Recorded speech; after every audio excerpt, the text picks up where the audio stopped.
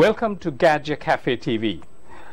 I have here Samantha, and Samantha is from Elland, where we are situated.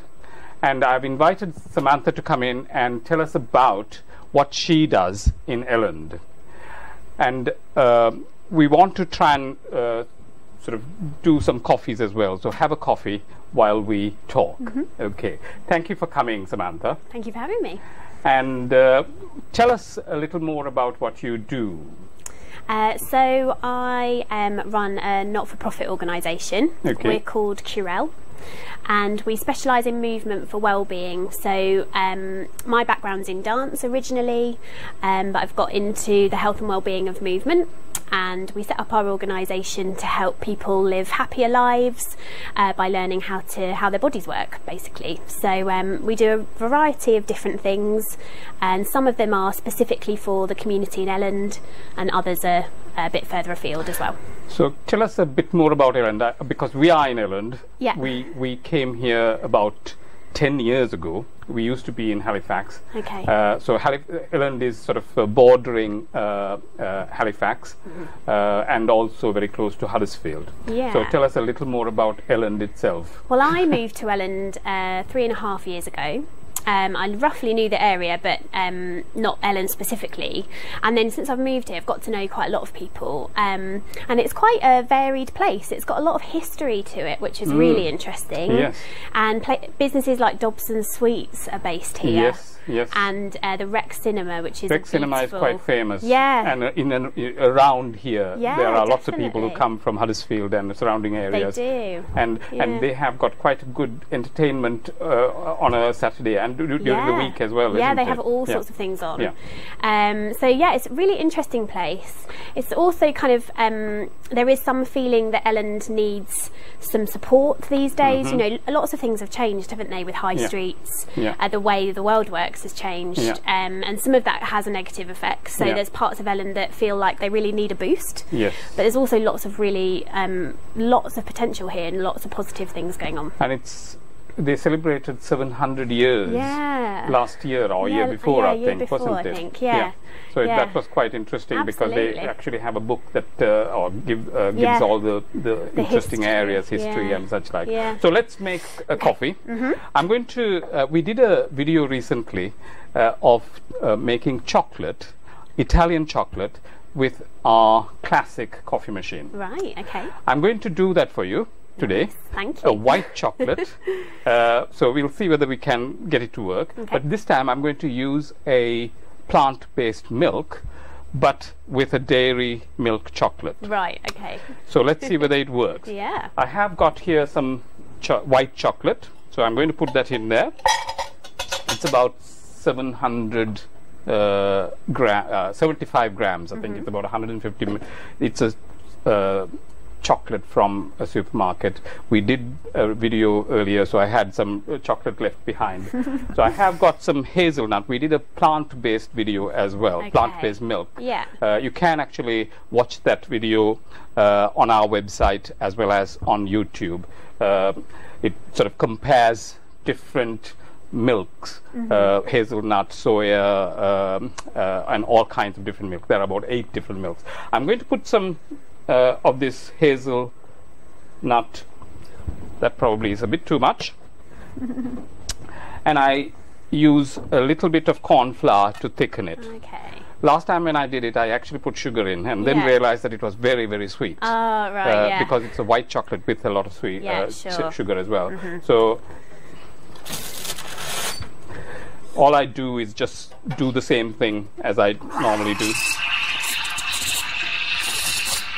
So tell us a little more about this Welland uh, that you are involved with. yeah. So, Welland is our wellbeing festival for Elland. Yeah. and I started it last year. Yeah. So 2018. We did a pilot project.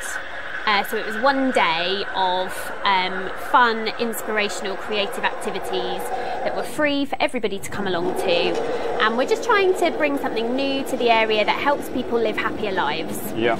And so um, the pilot project went really, really well. We had loads of people come along. Okay. And we had things like um, workshops. So there's dance, taekwondo, um, music, drumming, all sorts of things, Yeah. as well as um, holistic therapies. Um, ways to find out about support services in the Calderdale area as well and local to Elland. Um, and then because it went so well last year, we were able to get some funding this year, which was absolutely amazing, to do a weekend. Okay. So um, the, yeah, the weekend. So how do you get your funding? So we're a not-for-profit, so we apply to different funding bodies.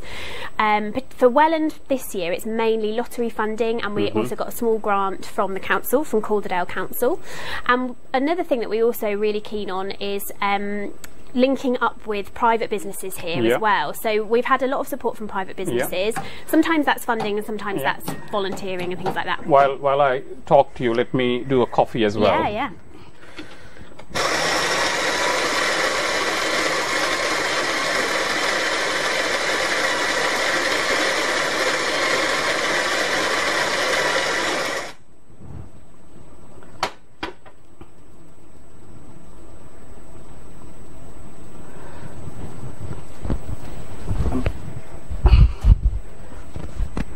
So I'm going to make something slightly different to what I did before, uh, and we'll see whether it works.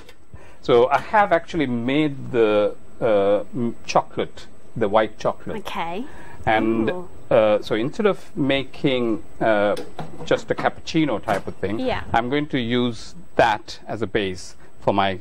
Uh, for my drink, this is the first time I have done it. Okay. So I'm doing it. We shall see. So let me let me get a couple of espressos.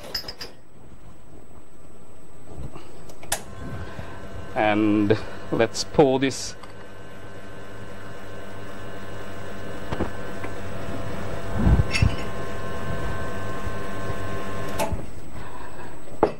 it can be a bit thicker than this actually. Right. Uh, so this is sort of a.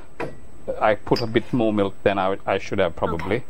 So let's see whether it works. So I'm going to pour that coffee straight in. Uh, we have got, we have got a spoon. So would you like to try that? Yeah.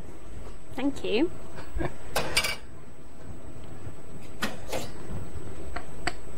Mmm. Oh, that's lovely. Is it sweet? It's sweet, but it's. I thought it would be a lot sweeter. Yeah. And it's not, which is nice actually, because Right. it's sweet enough, but not Yeah. overpowering.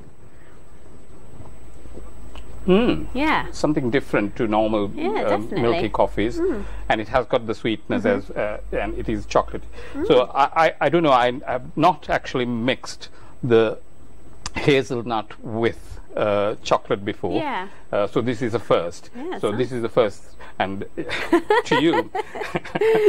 uh, so tell us uh, about Welland because Okay. this one happens in May, does it? June. June. Yes. Okay. And Yeah. in the centre of Welland, Yeah.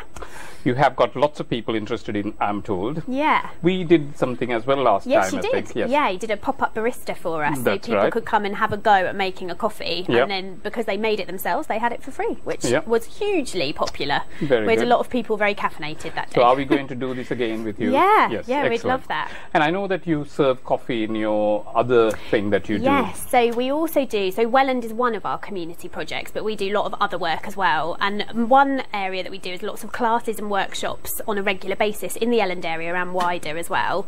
And one that we do in Elland is called um, Brews and Grooves. Brew as in a cup of tea brew or cup Okay. of coffee brew. Yep. Um, and it's for people over the age of 55, do. and it's I, dance I, class. I will uh, uh, be okay for that one. yeah, you're very welcome to join.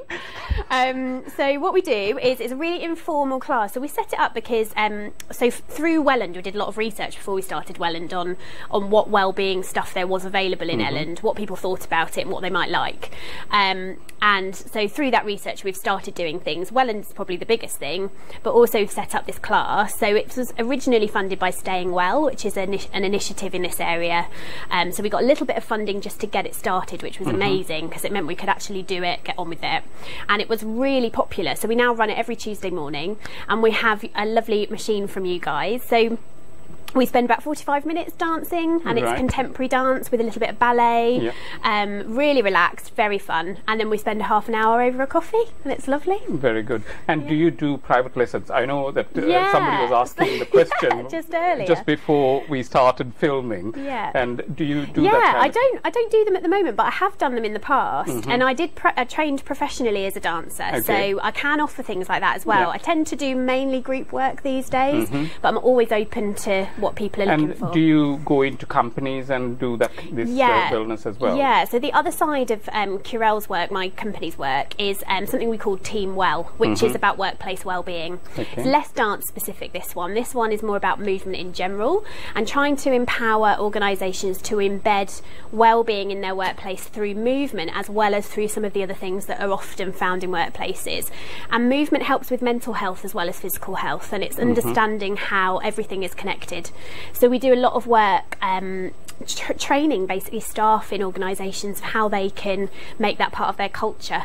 Um, so yeah, yeah, lots of varied things Excellent. going on. So, how does one actually contact you, or have you got a website that you can actually go to? Yep, so Curel's got its own website, so it's Curel, C U R E L, Yeah. wellbeing, uh, dot org, dot UK. We'll put that on our YouTube uh, and also on our Yeah, website, so you. people can actually click on it and watch uh, and, and go and see Find your website. Yeah. And Welland has a website as well, so it's wellandfestival.co.uk as well. Okay, very good. Thank you, Samantha, for coming. Do you want to say anything else about what you do, or No, have I I think, that, covered I most think that's covered most of it. Excellent. yeah. And we'll just carry on drinking Yeah, our coffee. lovely. So thank you for watching Gaggia Caffe TV. I hope you enjoyed it. Uh, we are trying to get more people uh, from local businesses, local communities, and such like to come and tell us about their businesses or community activity. So if you are interested in doing that, please go to our website and fill in a form and we'll be able to uh, invite you in and you can tell us and our audiences what you do. Thank you again.